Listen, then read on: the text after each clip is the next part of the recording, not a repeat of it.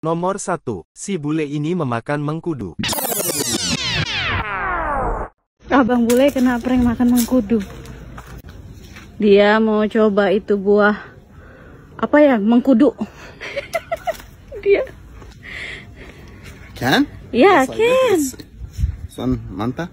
Iya mentah. Wow. Dia nyoba mengkudu. Camir.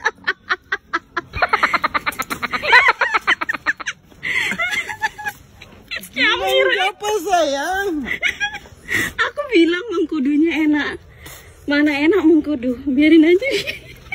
Nomor 2. Bocah ini berantem sama kucing, gara-gara ikan hasil pancingnya.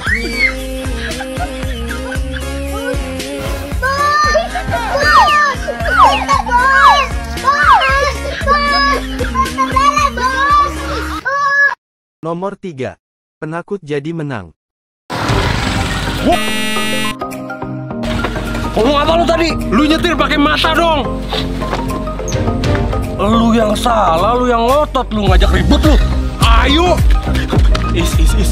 Please sabar, please sabar. Minggir yuk.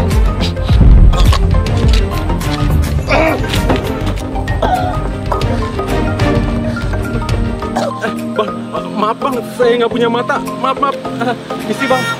Duluan, duluan bang.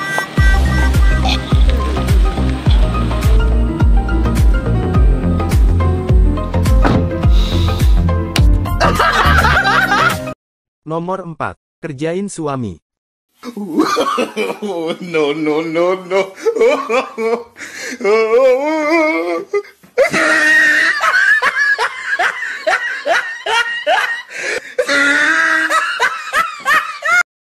Nomor 5.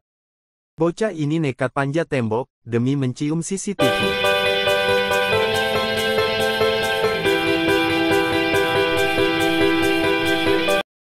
Nomor 6.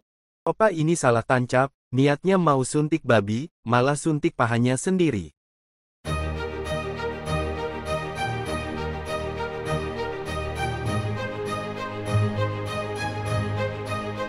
Nomor 7. Prank teman dengan sound ketawa mak lampir.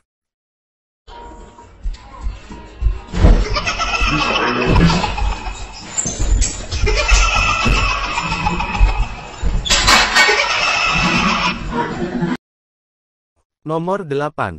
So jago pria ini, akhirnya menyamar jadi orang buta. Abe bahar nikal!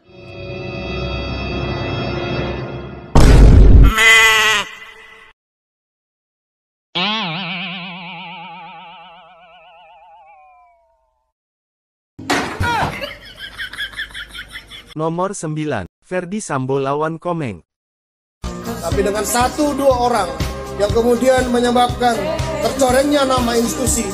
Jangankan kita hidup, orang mati aja bermasalah. Kita sebagai garda terdepan yang menjaga citra Polri, kita lakukan penegakan secara tegas dan keras. Maksudnya tetap hidup tuh ya memang ada masalah. Ya. Kalau mau senang eh, yang satu aja, ya cuma di akhirat kan. Nomor 10. Sambungan dari perdebatan Komeng dan Pak Sambo. Orang mati saja bermasalah, kuburnya digeser-geser karena pelebaran jalan, apalagi kita yang masih hidup.